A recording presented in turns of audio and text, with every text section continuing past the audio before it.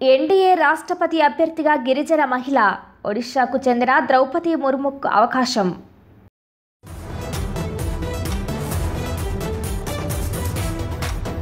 విపక్షాల ఉమ్మడి అభ్యర్థిగా బరిలోకి యశ్వంత్ సింహ. మద్దతుపై తెరాసాతో చర్చించామన్న శరద్ పవార్. మహారాష్ట్ర సంకీర్ణ సర్కార్పై నీలినీడలు అస్సాంకు రెబెల్ ఎమ్మెల్యేలు ఫలించని ఉద్ధవ్ చర్చలు.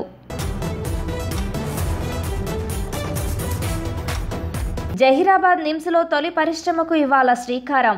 వెమ్ టెక్నాలజీ నిర్మాణానికి మంత్రి కేటీఆర్ శంకుస్థాపన.